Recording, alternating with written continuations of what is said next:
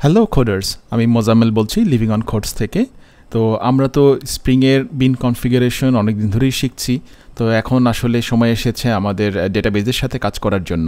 তো আপনাদের সুবিধার্থে আমি আপনাদের আমরা যেহেতু একটা ফ্রেশ উবন্তু ইনস্টলেশন নিয়ে কাজ করা শুরু করেছিলাম এবং আমার আমাদের এই উবন্তু ইনস্টলেশনে তো আসলে মাইস্কুয়েল এখন ইনস্টল করা হয়নি।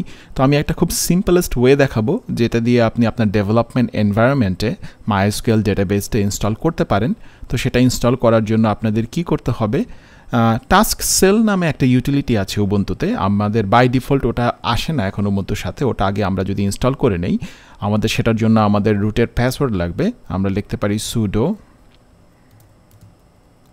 sudo apt get install tasksel এবং এটা আমরা ইনস্টল করে নেই। এটা প্রায় কত, এগারো মেগাবাইটের মতো।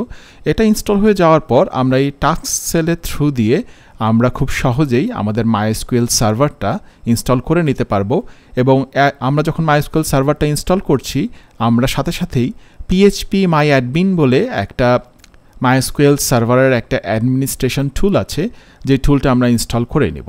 তো এখানে আপনাকে আপনার ডেটা আচ্ছা আমাদের টাস্ক সেল ইনস্টল হয়ে গেছে, আমরা ডিরেক্টলি চলে যাই ইনস্টলেশনে হ্যাঁ? Sudo tasksel that's good আচ্ছা এখন আমাদের এখানে আমরা বলে দিতে পারি যে আমরা কি ইনস্টল করতে চাচ্ছি। আমাদের এখানে আমরা যদি একটা, সবচেয়ে সহজ হয় যদি আমরা ল্যাম্প সার্ভার ইনস্টল করে দিই। এখানে লিনাক্স অ্যাপাচি পিএইচপি মাইস্কুয়েল সব একসাথে ইনস্টল হয়ে যাবে। আমি দেখি আরেকটা অপশন আছে কিনা, শুধু মাইস্কুয়েল সার্ভার যদি আমি চাই আর পিএইচপি মাই অ্যাডমিন যদি চাই, সেটার অপশন আছে কি না আমি সেটা দেখি। পোস্টগ্রেস ডেটাবেজের অপশনটা আছে।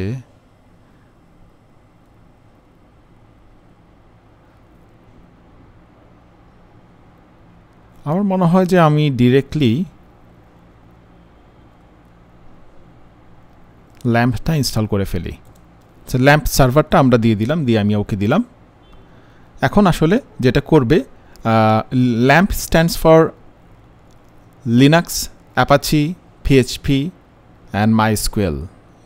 Or other LAMP Linux, Apache Linux, Apache, MySQL and PHP তো এতে হবে কি? আমাদের MySQL সার্ভারটা আমাদের ইনস্টল হয়ে যাবে এবং আমাদের পিএইচপি মাই অ্যাডমিন নামে যে টুলটা আছে, ওই টুলটার জন্য কিন্তু আমাদের আসলে পিএইচপির ইনস্টলেশনটাও দরকার। সো খারাপ না, একসাথে আমাদের সবই ইনস্টল হয়ে গেল এবং এটা আমরা আসলে একটা টুল হিসেবে ইউজ করব আমাদের ডেভেলপমেন্ট এনভায়রনমেন্টে তো এটা ইনস্টল হতে থাকুক, আমরা কিছুক্ষণ ওয়েট করি। আচ্ছা একটা জিনিস বলা রাখা ভালো যে এইটার ইনস্টলেশনের মাঝখানে যখন ইনস্টলেশনটা কিছু দূর যাওয়ার পর আপনাকে কয়েকটা জিনিসের পাসওয়ার্ড জিজ্ঞেস করবে। আপনাকে জিজ্ঞেস করবে আপনার মাইস্কুয়েলের মাইস্কুয়েলের যে আপনার রুট ইউজার সেই রুট ইউজারের পাসওয়ার্ডটা আপনাকে জিজ্ঞেস করবে। ওটা আপনি তখন পাসওয়ার্ডটা দিবেন এবং মনে রাখবেন। ওটা ভুলে গেলে কিন্তু পরে মুশকিল হবে। ওটা রিসেট করার ওয়ে আছে বাট একটু কমপ্লেক্স ওয়ে তো আমরা দেখতে পাচ্ছি আমাদের এখানে মাইস্কুয়েলের রুট ইউজারের পাসওয়ার্ডটা চাচ্ছে।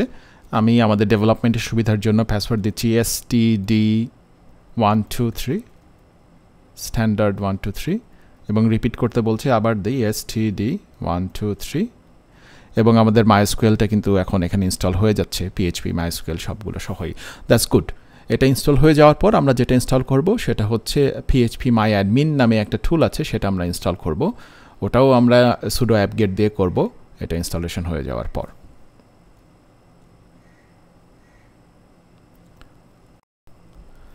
সো আমাদের মাইস্কুয়েল মাইস্কুয়েল সহ আমাদের ল্যাম্পের স্ট্যাকটা কিন্তু ইনস্টল হয়ে গেছে। এখন আমরা যেটা করব সেটা হচ্ছে আমরা পিএইচপি মাই অ্যাডমিন এটা ইনস্টল করে নিব। সেটা ইনস্টল করার জন্য খুব simple sudo apt get install phpMyAdmin এবং এটাকে আমরা ইএস দিয়ে দিলাম। সো এখন পিএইচপি মাই অ্যাডমিনটা আমাদের নেট থেকে উবন্তুর রিপোজিটরি থেকে নামিয়ে আমাদের এখানে ইনস্টল হয়ে যাবে। সো ওটা ইনস্টল হয়ে গেলে আমরা লোকাল হোস্ট স্ল্যাশ পিএইচপি মাই অ্যাডমিন দিয়ে খুব সহজেই আমাদের ডেটাবেজের অ্যাডমিন অ্যাক্সেসটা পেয়ে যাব এবং আমরা ওখানে tables and other stuff create করতে পারব, যেটা আমাদের ফিউচার টিউটোরিয়ালে লাগবে। আচ্ছা ইনস্টলেশনের সময় এখানে আপনাকে জিজ্ঞেস করছে যে কোন সার্ভারটা রিকনফিগার করতে পারবে পিএইচপি মাই অ্যাডমিন অটোমেটিক্যালি এখানে আমরা বলে দিই যে আমরা অ্যাপাচিটা করব।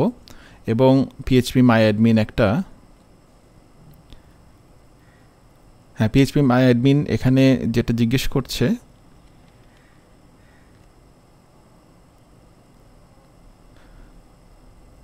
এটা আমরা বাই ডিফল্ট যেহেতু ইয়েস সিলেক্ট করা আছে, আমরা এখন ইয়েসি দিয়ে দিই, সমস্যা নেই।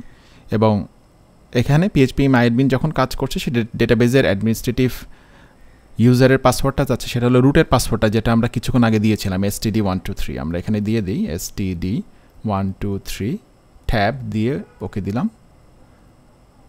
আচ্ছা MySQL application password for phpMyAdmin আমরা সেম পাসওয়ার্ডই দিয়ে দিই S T D one two three okay password confirmation S T D one two three যেহেতু ডেভেলপমেন্ট মেশিন আমাদের এটা নিয়ে এত চিন্তা করার কিছু নাই পাসওয়ার্ড সো আমাদের কিন্তু কনফিগারেশন হয়ে গেল পিএইচপি মাই অ্যাডমিনের এখন যদি আমরা আমাদের ব্রাউজারটা ওপেন করি ব্রাউজারটা ওপেন করে আমি যদি যাই লোকাল হোস্ট পিএইচপি মাই অ্যাডমিন এই যে আমাদের কিন্তু পিএইচপি মাই অ্যাডমিন অলরেডি চলে আসছে। এখানে আমি ইউজার নেম দিলাম রুট পাসওয়ার্ড দিলাম S T D one two three এবং আমরা কিন্তু আমাদের ডেটাবেজে কানেক্টেড হয়ে গেছি হ্যাঁ? সো দ্যাটস গুড আমরা আমাদের মাই স্কুলের ডেটাবেজের ইনফরমেশন পাচ্ছি। আমরা এখানে চাইলে এখন টেবিল ক্রিয়েট করতে পারব এসকিউএল কোয়ারি রান করতে পারব। সো এটা আমাদের জন্য একটা খুব সিম্পল টুল আরেকটা টুল আছে মাইএসকিউএল ওয়ার্ক বেঞ্চ আমরা যদি ফিউচারে লাগে, আমরা যদি চাইলে মাইএসকিউএল ওয়ার্ক বেঞ্চটা ওয়ার্ক বেঞ্চটাও আমরা ইউজ করতে পারি। তো এখন যেহেতু লাগছে না, আমরা যেহেতু খুব সিম্পল কাজ করব, আমাদের পিএইচপি মাই অ্যাডমিন দিয়ে আমাদের কাজ চলে যাবে। সো আজকের জন্য এতটুকুই until next time happy living on codes